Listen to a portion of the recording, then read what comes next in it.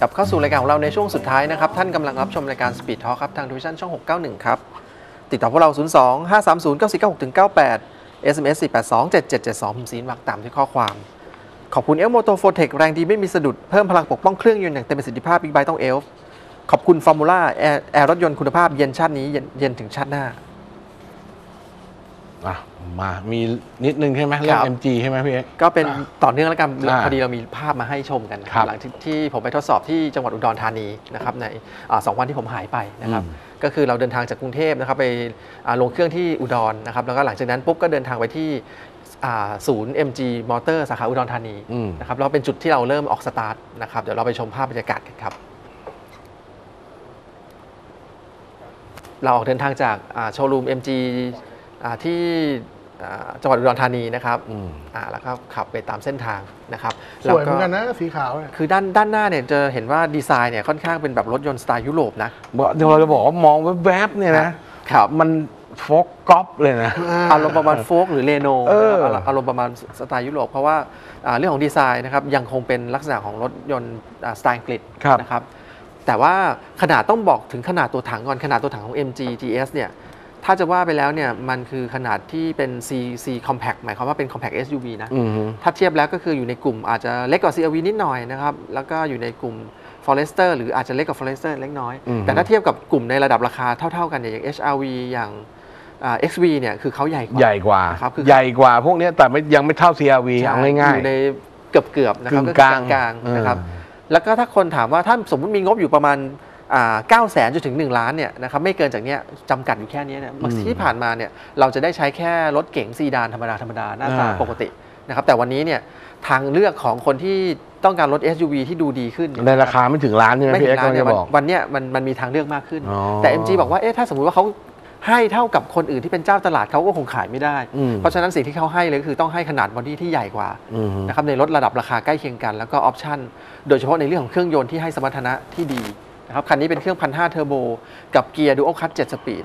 ตอนแรกเราเข้าใจว่าเป็นเครื่องพันห้าเทอร์โบที่อยู่ใน MG5 อืมแต่จริงๆแล้วพอไปดูจริงๆแล้วเป็นเครื่องบล็อกใหม่นะครับที่เป็อ้านวคน direct ละตัวกัน injection เหรอ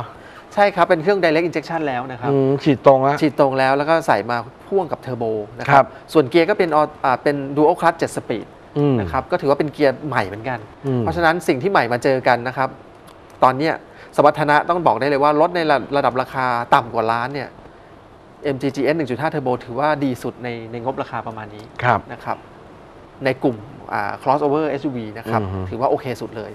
สมรรถนะเป็นไงอัตราเร่งเครื่อง 1.5เทอร์โบเกียร์ 7 สปีดเนี่ยถ้ามองในแคตตาล็อกเนี่ยตัวเลขมันจะคล้ายๆกับอ่ากำลังประมาณ 160 กว่าแรงม้า แรงบิดประมาณ 250 นิวตันอ่าตัวเลขนี้ก็คือเครื่องยนต์ 2.4 NA ที่ผ่านมานั่นเองครับถ้าเทียบกับรถอ่า SUV ในยุคที่ผ่านมาเครื่อง 2.4 2.3 2.4 เนี่ย คันเนี้ย ขนาดกำลังแรงม้าแรงบิดพอๆกันอืมแต่พอขับจริงแล้วการเร่งแซงการการออกตัวแล้วเนี่ยเครื่องยนต์พันห้าเทอร์มาเจอเทอร์โบเนี่ยมันแรงกว่าเครื่อง 2.4 NA อัตรามันน่าจะตอบสนองไวไวนะกว่า พุ่งกว่าแล้วก็เร่งมาแซงไว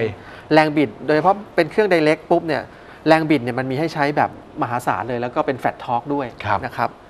ส่วนระบบความปลอดภัยที่ผมชอบมากเลยก็คือในช่วงที่เราขับเป็นถนนสายรองอืมนะครับเราขับตามรถดำที่เป็นรุ่น 2.0 นะครับ เราก็เกาะกลุ่มไปเรื่อยๆ เราพยายามจะไล่ให้ตามขบวนไม่ให้ขาด มีอยู่จังหวะหนึ่งที่เราอยู่ยอดเนินอืมแล้วรถอะ18 ล้อเนี่ยเขาขึ้นไม่ไหวอ่าฮะนะครับมีการเบรกฉุกเฉินแบบอื้อหือถ้าสมมติว่าเบรกไม่ดีตัวโก่งเอาว่างั้นเถอะใช่ครับเต็มเท้าเลยผมยอมรับเลยว่าผมเบรกเต็มเท้าเลยอ่าร้อยเปอร์เซ็นต์ถ้าสมมติเบรกระบบเบรกไม่ไม่ดีพอเนี่ยมีมีชนแน่นอน ผมพิสูจน์เองว่ามันอยู่อืมนะครับก็ตกใจเหมือนกันแต่ว่าเราก็เอาอยู่นะครับ แล้วก็โดยรวมอัตราสิ้นเปลืองถือว่าผ่านกับเครื่องยนต์ที่มีกำลังแรงม้าขนาดนี้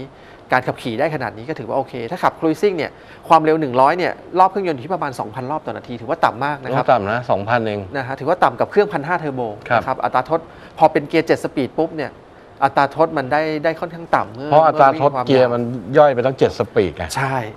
นะฮะโดยรวมภายในเป็นไงครับ สวยนะ อาจจะดูไม่ค่อยหวือหวา แต่ก็ดูเรียบเรียบง่ายเรียบๆสวยดีนะฮะหรูดีเรียบหรูเรียบหรูเป็น piano black นะฮะวัสดุก็ถือว่าผิวสัมผัส ผิวสัมผัสใช้ได้แต่ถ้าเทียบกับรถญี่ปุ่นอ่าอย่าง Honda ก็ต้องยอมรับว่า Honda เนี่ยออกแบบภายในเก่งอืมผิวสัมผัสดี ถ้าเทียบกับ Mazda อย่าง CX3 เนี่ยต้องยอมรับ CX3 ภายในดูหรูกว่า ดูสปอร์ตกว่า แต่ถ้าเทียบองค์ประกอบโดยรวมทั้งคันแล้วเนี่ย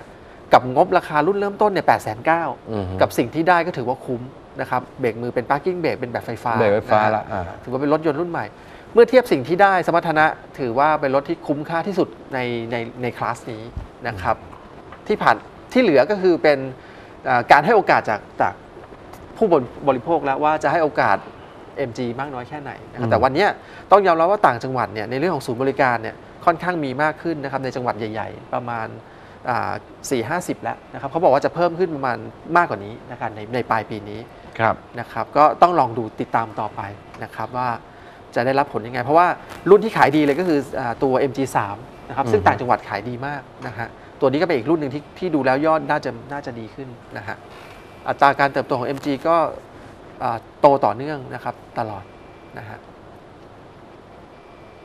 อะอ่าโอเคประมาณนี้ประมาณนี้เดี๋ยวมีนะครับ รายละเอียดให้ติดตามอีกที่เป็นคลิปภาพเคลื่อนไหวใช่นะเดี๋ยวรอดูวันสองวันนี้ ครับผม มายังมีเวลาเหลืออยู่ดูเรื่องราวของ s อ s กันฮะ ถามถึง Mazda BT 50ครับ ตอนเช้าบิดสวิตช์กุญแจ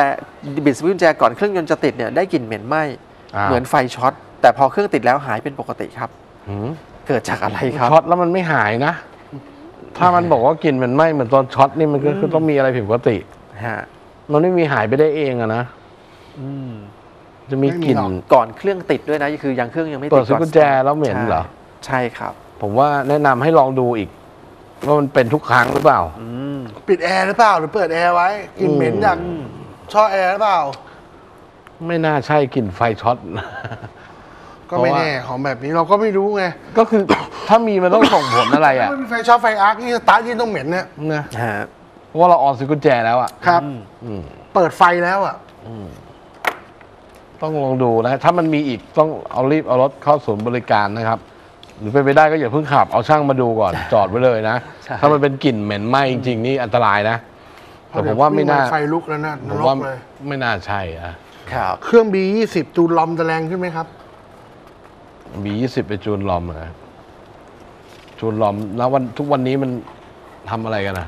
ก็น่าจะเป็นทำกล่อง ECU อย่างเงี้ยเหรอ ในยุค 90 นะครับในยุคทางเลือกเดียว90 คือเบิร์นลอมใหม่ เอ้ยเออ เปลี่ยนล้อม มีแฟดได้แล้วอะนะ ไม่ไม่แต่ถ้าเป็นรุ่นเก่ามันอาจจะยังไม่ได้ ใช่ไหม ใช่ครับ ยังเป็นลักษณะของลอมอยู่นะครับอืมเป็นก็คือเป็น IC นี่แหละหลายๆขา แล้วก็ครับทำการเบิร์นลอมหมายความว่าโปรแกรมล็อกข้อมูลในในในชิปใหม่อ่าน นะครับหรือว่าในภาษาง่ายๆ คือเปลี่ยนชิปอ่านะครับ เปลี่ยนตัว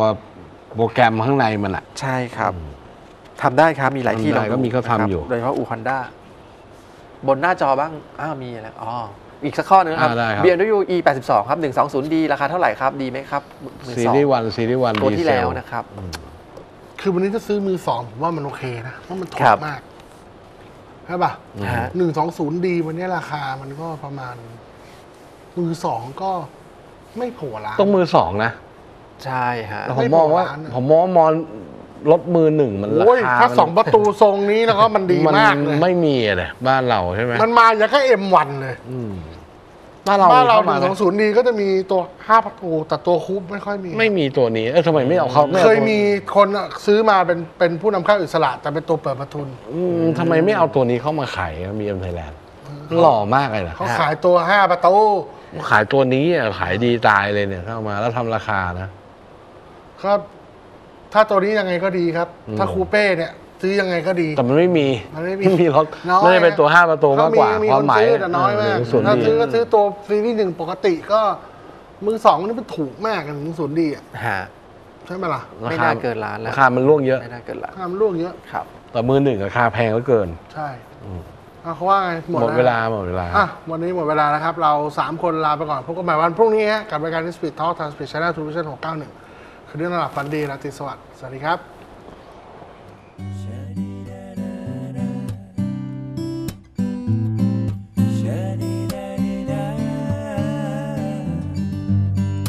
ตอบคุณทุกคำถาม แก้ปัญหาทุกเรื่องที่ รื่องรถเรื่องยนต์เรื่องความปลอดภัย ต้องการรถไหนจะปรึกษาใคร ให้พวกเราสปีดทอ k ช่วยตัดสินใจ ไปพร้อมคุณแน่ๆ